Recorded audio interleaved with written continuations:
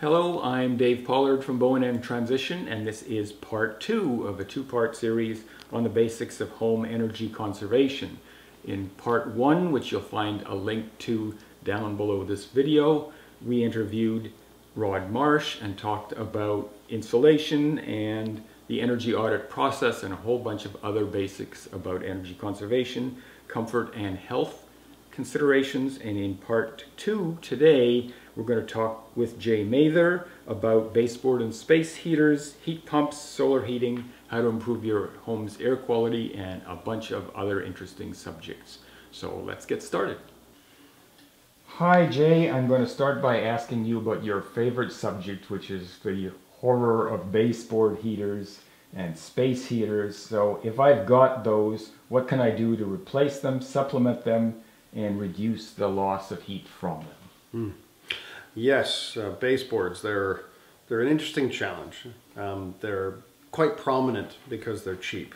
Uh, in the end of the day, if you're going to install a heating system in a new building, uh, a baseboard is the simplest and cheapest methodology used, which is why they are becoming more and more common in average homes.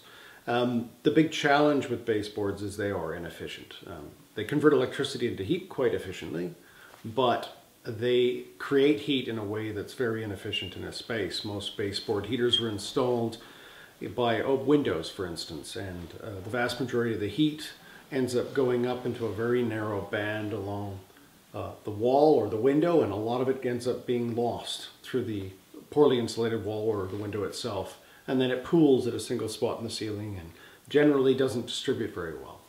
Um, so that's the inherent challenge in, in many countries in the world. Um, for instance, in Europe, baseboard is now illegal because it is so inefficient.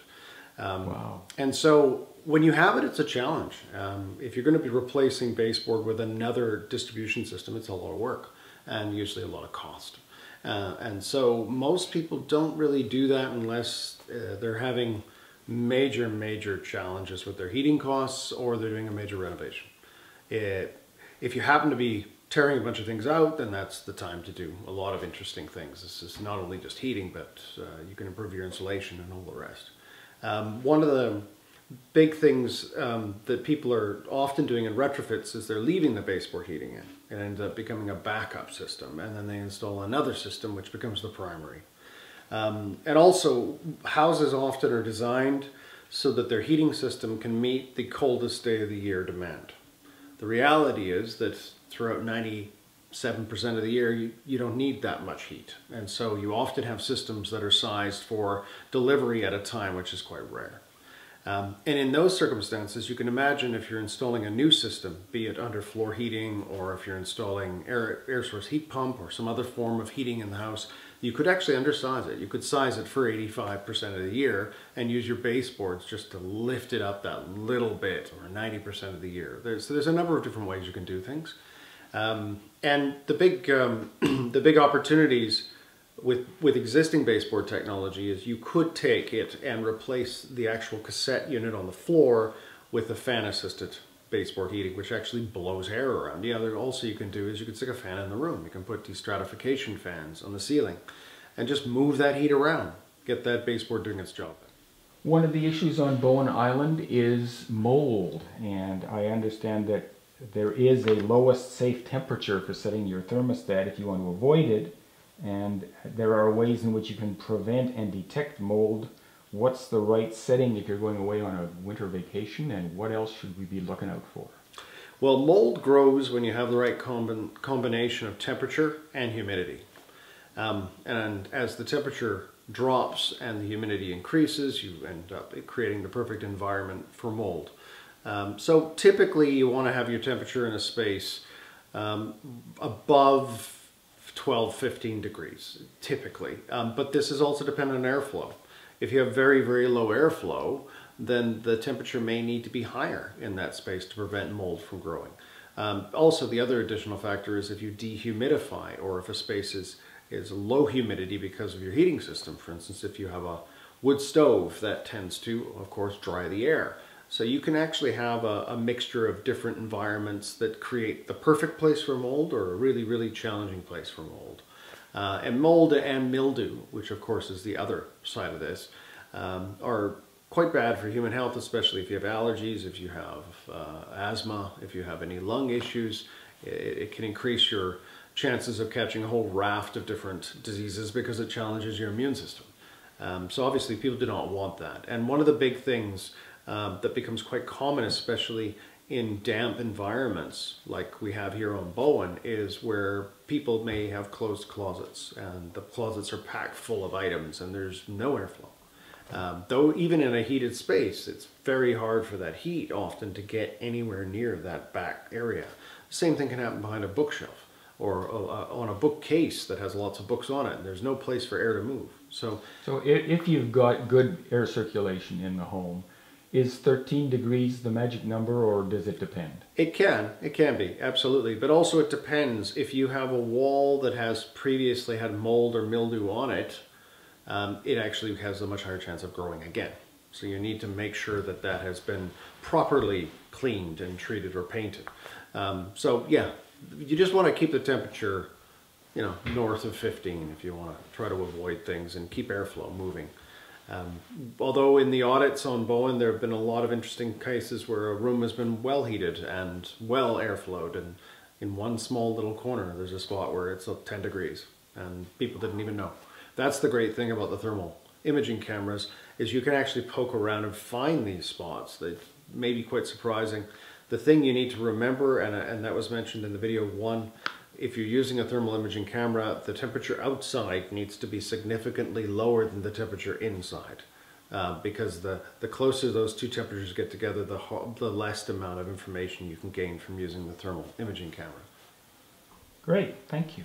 I've been hearing a lot about smart thermostats or learning thermostats. What's your take on them? Yeah, smart thermostats are part of the control upgrade in homes. Um, if you were to grab a, a, thermostat that's on the wall of the vast majority of homes, it actually is technically no different from one from 1925. It's the simple mercury switch. It a little spring system that says, oh, the temperature within these bounds is on or off. It's very, very simple. Now those um, can be quite challenging because in the end of the day, in old houses, thermostats were typically located by the door which meant they're not reading the temperature of the room, they're reading the temperature of that spot by a door. Um, as we start getting smarter with our thermostat placement and learning thermostats, smart thermostats, they can start to understand the space more. They can start to learn what is needed to raise the temperature, how much energy that'll take, how long it will take. Thermostats are now being installed, or at least sensors of the thermostats, in better locations that are distributed throughout a space instead of in locations that are by an area that often is around a corner from where people actually spend their time. So it's, it's a vital piece of the puzzle um, because every home is different. Every heating system has its strengths and weaknesses and smart thermostats can learn how to work with all those variables to increase efficiency, to monitor and model things and, and actually enable you to learn and see uh, over time. If you're uh, interested in information, you can sit and look at the temperature outside, look at degree day differences from the inside of your house. You can start to go, oh wow, when the temperature is five degrees and it's windy, I know it's typically going to take this much energy to heat my house up. Um, and for some people that's really interesting, for other people it isn't. People who don't find that interesting can set smart thermostats to do, do the job efficiently for the house without you having to think about it. So it's a, it's a piece of the puzzle that's vital. Great, thank you. My appliances, washer, dryer, and dishwasher, they all have these cold, warm, energy saving settings.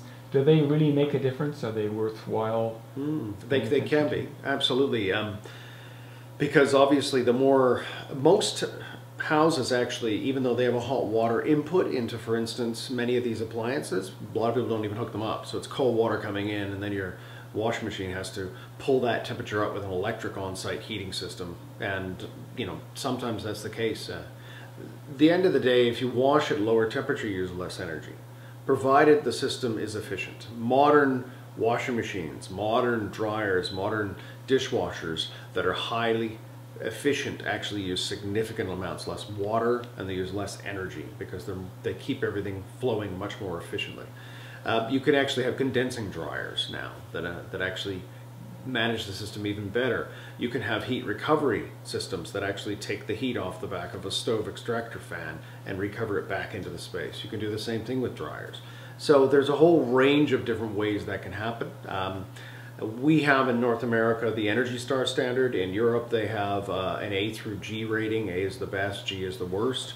Um, and in fact, that's something that Canada is considering doing going forward is to actually have ratings on electrical goods so that people can actually see in average use over a year how many kilowatt hours of energy would this use and how much would that cost to actually use. So you can imagine like it is in Europe now, if you walk into a store to buy a washing machine, you have a sticker that tells you how much it's going to cost to use this thing in a year. And you, that's another factor you can consider when you're buying it, not just its purchasing price. So it's life cycle costs. Uh, that's a vital part of this because people aren't going to put the energy necessarily into doing that sort of research. So the more it becomes prominent, the better it is for everybody. And, and modern equipment is a lot more efficient. Uh, a fridge made in the last 10 years will use an average of 30% the electricity from a fridge from 30 years ago. So ironically, you have a 30-year-old fridge in your garage outside. It's cheaper to throw that away and get a new fridge. Another new appliance, or relatively new in North America at least, is are solar hot water heaters and instant hot water systems. Yes. I've been told that the solar systems aren't, aren't economic yet mm. here and that the instant hot water systems are still too expensive to really consider, but mm. are they are better systems, I understand. Well, instant hot water systems are imagine where you wherever you have your tap and where you have, for instance, a shower head, it produces heat that is needed at that moment for what's required. That's it. So there's no storage tank. There's no energy sitting somewhere and dissipating. And so that that is actually quite common once again in Europe. Um, instant uh, on-site heat delivery is actually uh, uh, much cheaper if you build it into a house because you don't have to run hot water throughout the entire building. You can actually stick just a single cold water supply at every sink and have a hot water tap that heats the water right then and there. So there are savings for installation. Okay. Uh, so payback period for solar hot water is typically around 15 years, or solar thermal is the other term for it. Um, which basically, if you're thinking about that, that's six and a half percent return on investment. Most people in their um, investments are getting one and a half to two percent to maybe three percent. So the fact is, you even then, provided you're going to stay in a, in a building for 15 years, you get a higher return off of your roof than you do off of most investments, uh, which is interesting. Um, when it comes to how solar thermal and solar hot water systems get, get cheaper, that will be related to volume. Um, there needs to be a lot more of them installed. Uh, and there also needs to be more expertise, and which speeds up the process. When you stick in a solar hot water system into a house, you need a special hot water tank that has dual, dual entry, so it has a it can receive heat from the solar thermal system as well as whatever the primary heating system for the house is. Um, so those are other factors. Uh, not all buildings can have solar hot water, obviously, if you don't have a roof that's in the right direction or you don't have the ability to have a large thermal store and a large tank. That's another factor. I have heard that the relative humidity in your house should be somewhere between 20% and 60%. Should I buy a thermometer that shows humidity as well? And what do I do if my humidity is below 20 or above 60? If your humidity is um, below 20, you can run into having um, obviously challenges with drying things out, which typically for a human is uncomfort uh, and, and often leads to things like nosebleeds, like people have experienced in cold climates where the humidity level drops quite significantly. Uh, that's usually less of a problem uh, in, in especially where we are in Bowen. Uh, the chances of us having a, that low humidity are pretty low.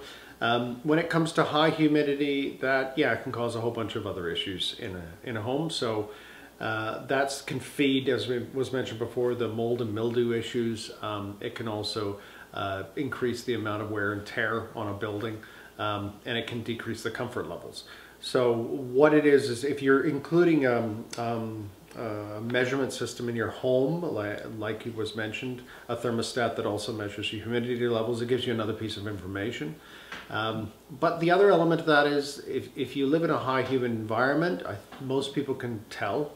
Uh, one of the simple sense ways to no, notice that is just to put your fingers together and feel if it's slick or if there's traction.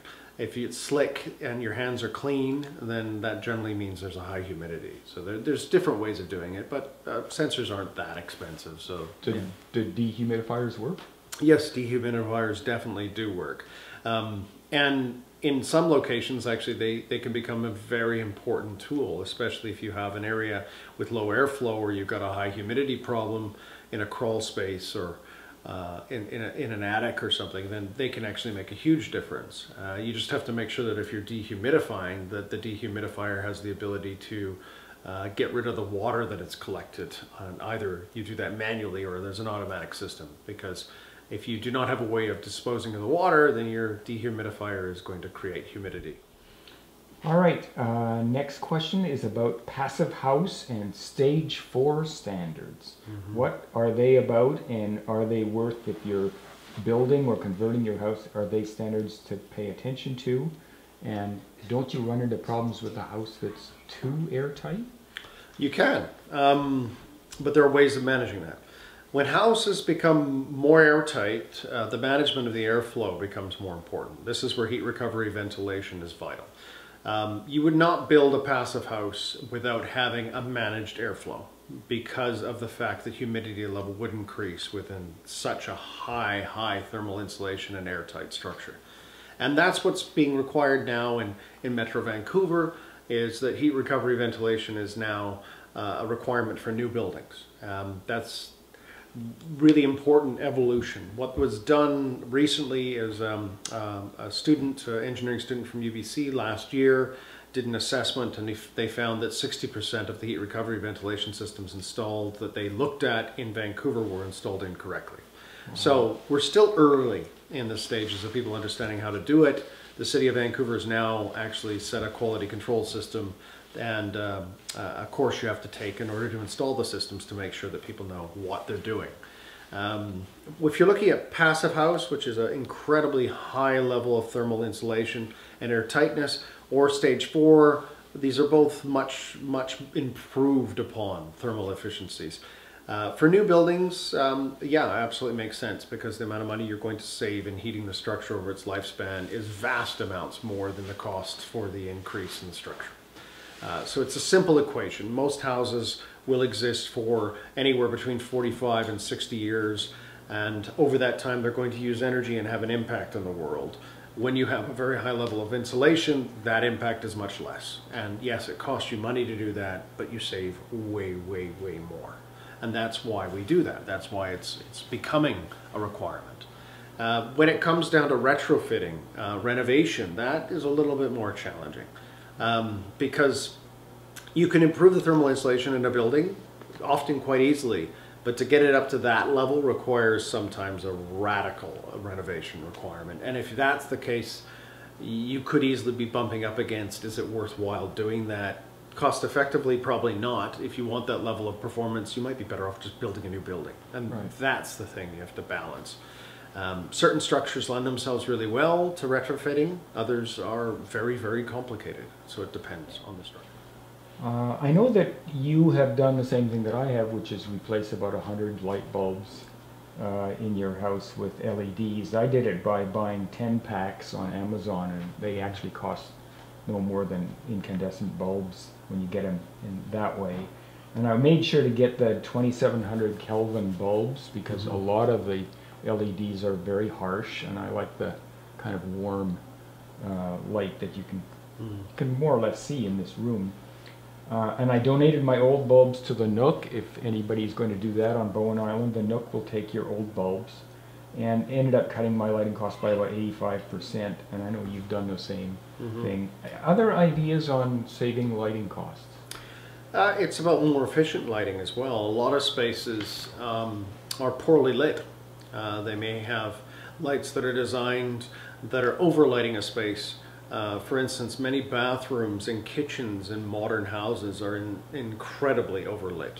Um, and in that case, you can sometimes install, not necessarily replace all the lamps, you may only replace half of them or two-thirds of them and still get the light that you need. Uh, nobody needs eight halogen light bulbs above their kitchen sink, but yet it's standard because people like to have a brightly lit kitchen. Um, but yes, that if you're using halogen light bulbs, that's going to be 400 watts of power, which is going to cost you about five cents per hour. And you add that up over the year, that's an incredibly painful, yep. overlit environment. The other thing is it's cooking the top of your head because they're little heaters. 90% of the energy goes into heat, not light. So you know, that's why we transitioned to LEDs, where the vast majority of the energy Right. goes into light, not heat. Um, And uh, yeah, lighting replacement is um is an obvious place to save money, quick paybacks. Uh, as as you mentioned, 85% reduction for yourself. For for me, when I moved into my house and I'm renting a house, I don't own the house. It was a 16 or 17 month payback period, which in percentages uh, you're looking at about 78% return on investment. That's Yeah. pretty good. All right, suppose I am like Meribeth and I am thinking about building a new home. What are three things that I should keep top of mind in terms of comfort, health, and effective efficiency? What you want to do is make sure that your insulation is high quality. Um, now, here in British Columbia, we've got some new building codes, building standards, and that are going to make buildings more efficient uh, automatically.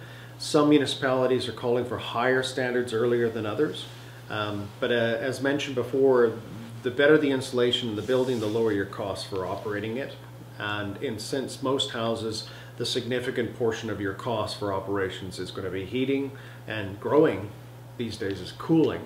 Um, then obviously the more you make your building efficient, the better that's going to be. So uh, your insulation is, is a major one. The other one is your heat distribution system. However it is you're going to heat your building. If you use baseboard heating, um, you're going to be limited as to how efficient you can make the building. If you're using a heat pump, it gives you more options. Uh, much more efficient, between usually around three, three and a half times the efficiency of a baseboard. Plus, a, a air source heat pump can also act as a cooling system, so it, it, it doubles up as a secondary system. Um, if you've got a centrally distributed heat system, which may be uh, vents on the floor or under underfloor heating with hot water systems, then you can actually choose different ways to deliver that heat to the building. So as for instance, if heat pumps improve in 10 years phenomenally, you could actually retrofit a better heat pump into that system to distribute the heat. If you have isolated heating in specific locations that isn't connected to a central mechanism, you, you, it's much more complicated than that. So your heating and cooling distribution system is, is becoming more important. The other one obviously is comfort. You want to have a space that is a place you want to be. Air quality. Uh, we've talked about particulates and volatile gases, and um, I have a relative humidity gauge in my home thermometer here, and I understand that Bowen Island Library now rents radon detectors. So there are a number of devices. We've been looking in Bowen in Transition at the purple air monitor for particulates and the Foobot monitor for VOCs, which um, seem to work pretty well and are relatively affordable. Um, what are the other things that we should be looking at or doing to ensure the air quality in our homes is safe? The biggest uh, source of internal air quality issues is actually fire retardants. Um, and this is not so much a factor in older buildings, um, but it is a factor in carpet, it's a factor in furniture, specifically couches. Um, it's been determined in Sweden that the threat from fire retardants in your home, in your furniture, is 85 times higher than the threat from fire to your health. It's really interesting how we've introduced a whole bunch of um, irritants, carcinogens, and other volatile organic compounds into our homes um, without necessarily realizing what the cost of that is. Um, as most people will be no doubt aware, uh, allergy reactions in people today are exploding uh, almost at epidemic levels. Uh, it's the same thing for people who are having breathing issues or asthma. This is obviously correlated to these sort of elements that we're introducing into our homes. Uh, the same exact thing, by the way, can be said about cars. Uh, inside of a brand new car in rush hour traffic is eight times worse air quality than outside the car in the rush hour traffic. Wow. And that's from the things inside the car. So we have to think about all those other elements. The way you deal with that is if you're going to have new current carpet and new furniture, uh, you need to make sure you have a good quality airflow. You need to make sure there's a lot of fresh air in the building. And this is where heat recovery ventilation systems do that. They ensure that there is an exchange of fresh air into the building on a regular basis, on an ongoing basis. That helps you more than anything else to manage that process.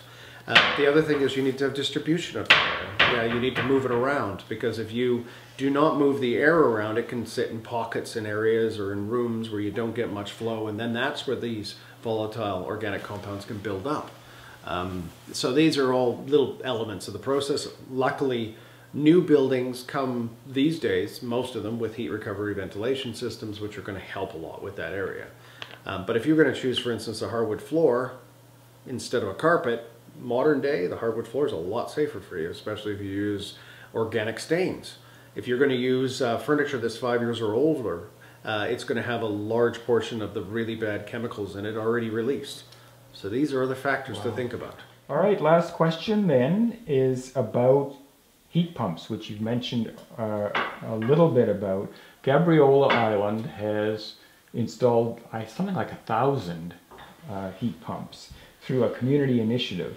Until something like that is available here, how can I decide whether I should install a heat pump in my home and what do I do first to decide hmm. to get that happening? Absolutely. Um, so a heat pump, just a very quick crash course, um, is basically what your fridge is. Uh, your fridge takes the heat inside of itself through a compressor system to the back of itself through um, a radiator system to get rid of the heat. What a heat pump does in a home is it grabs the heat from somewhere else and brings it into the house. So an air source heat pump uses air as the source of that heat. A ground source or geothermal heat pump uses the ground as that source, and there's also water source heat pumps. Um, and they have varying degrees of efficiency. An air source heat pump averages about three and a half to one, which means for every one kilowatt of electricity you put into it, you get about three and a half kilowatts of heat out of it. Um, and heat pumps can also be used to cool because they can be reversed. Um, and that's in essence how they work. Um, they become very, very common in a lot of places in the world. Um, if you live in a place that gets incredibly cold, like lower than minus 10, minus 15, an air source heat pump becomes a lot less efficient at those times because there's not that much heat left in the air. Um, but in, in that case, you can actually use a built-in immersion system, which is like a baseboard heater. So then that's the lowest the efficiency, efficiency gets to. Or you could use a ground source geothermal system in those environments and they have the same thermal performance all the time. Um, so that's, that's a heat pump crash course. Um, when it comes to deciding if you want to do that or not, it depends on what you're comparing it with. If you were replacing, for instance, uh, baseboard electric heaters with a heat pump, you could go, oh wow, I could cut my heating costs by 66%, hypothetically. But the thing is, how much money is it going to cost you to install it? Because uh, replacing electric baseboard heaters throughout a big building with a heat pump is very complicated. You're either going to have to go with cassette systems that fill an individual room, or you're going to have to stick in some distribution system throughout the whole house. And that could actually push it into a place where the payback period is gigantically long. Um, so you have to balance all those equations. If you happen to have a heat distribution system in the house already through underfloor heating, hot water, or you have, for instance, uh, air ducted venting system, um, then actually that can make really good sense. And that means all that hard work for heat distribution is already there. Um, and, and the question about when should you do it? Well, if you're building a new house, you can design this stuff right in, in the very beginning. If you have a gigantic heating bill, you could try to figure out, okay, hypothetically, it's going to cut my bills by 50%. I'm spending five grand a year on heating. That's two and a half thousand dollar savings. The heat pump's twelve and a half thousand dollars. Okay, five year payback. You can make decisions. Um, now, heat pump costs are still relatively high because there's still not that many installers. Uh, the grant scheme that does exist in BC through BC Hydro is pretty small, a couple of thousand dollars. It's also quite long and cumbersome. It's not an easy process. But the new Clean BC plan is saying they're going to revamp that and make it easier, which would, which would be great. Um, Gabriola Island's a great example because what you had is some locals who got the distribution rights to a heat pump technology on that island only and then they started installing them relatively cheaply because the install price is the thing where a lot of heat pump costs skyrocket and that's why they rolled them out in volume. Uh, Salt Spring Island is also trying the same thing right now. Uh, so it's about trying to find the balancing act. Um, uh, uh, another thing to think about in Canada is we've got a small number of heat pumps available in the market and that's because the Canadian Standards Agency are the ones who charge a gigantic amount of money to get a heat pump certified. So that's holding back the introduction of new innovation into Canada. Um, we are obligated under the European Free Trade Agreement to recognize European standards, and I know there are some European heat pump manufacturers who are considering challenging Canada in the European courts because of this issue, um, which would actually be very good for us. It would be good for us to get choice. If you have a heat pump company that has 30 heat pumps and then they've got two available in Canada and they're seven years old, that's not good for us. This isn't about quality, it's just about certification methodologies, and there's a lot better ways we can do this. So these are things people have to consider. Skills, speed, and certification methodologies in the grant systems. So they need to all come together to make it work. And when they do, they make really good sense. Um, you're going to find in a lot of places now in the world, heat pumps is a mandatory standard and you have to actually get special permission to install a not a heat pump. Um, and that's where we should hopefully be going uh, at one some stage in the hopefully near future. Well, sounds like a good project for us to take on next is to see what we can learn from Gabriola and from Salt Spring and see if we can do that on Bowen. What's the volume we would need? Do you have any idea? That's it's a good question. Um, the big challenge with what happened on Gabriola is they had the rights to a specific heat pump just for that island, and it didn't threaten any of the other distributors because there were none of those heat pumps installed in Gabriola. So the company gave them the rights because they said, well, if you sell one, that's better than what we've done. But they can't install those anywhere else. So that's a limiting factor. Um, and that's sometimes what you have is some of these distribution companies they they have given the rights to certain companies and they're keeping the price at a level. Um, so there's a lot of different ways you could do that. Volume wise um, the big trick is you need to get people on island who have the install and maintenance skills. That's vital. Um, and once you have that the rest you can start working on that's actually the biggest piece because without that it doesn't matter how good all the rest is that will be the limiting factor um, and you know, Bowen, for instance, has 1,500 houses. Uh, hypothetically, say half of them are viable for heat pumps, and hypothetically, a couple percent of those do it every year. That would be enough to make it worthwhile. All right. Thank you to Jae and thank you to Rod for part one. Uh, I think we've given you a, quite a whirlwind tour of the opportunities for improving your home comfort, health, and energy efficiency. And as I mentioned in the first part, there will be some links under this video, links to the first video in the series, and also links to, to some information about how you can do follow-up, get an energy audit done, uh, get the thermal imaging camera from the library, um, some other ideas for savings, and some registered contractors on Bowen Island that can help you with the next steps. Uh, so I hope you enjoyed these, this two-part series and look forward to seeing you again on whatever the next project is that Bowen Transition takes on. Thank you very much.